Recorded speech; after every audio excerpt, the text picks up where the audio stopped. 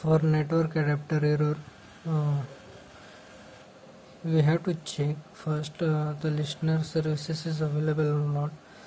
Hence press uh, windows plus r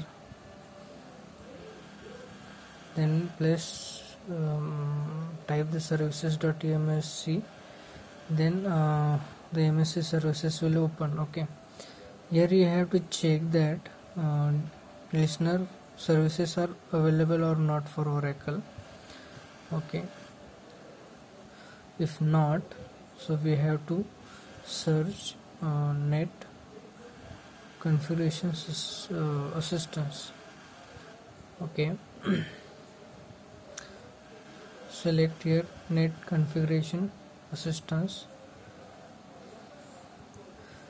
Okay after opening of uh, okay is to open. Uh, press next.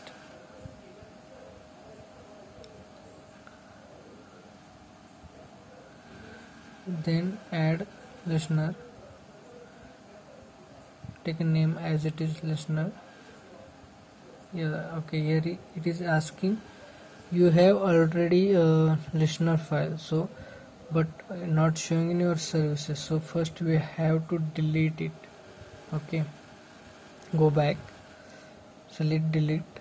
Next. Next. Okay it going to ask are you sure want to delete? You have to press yes. I'm pressing no okay.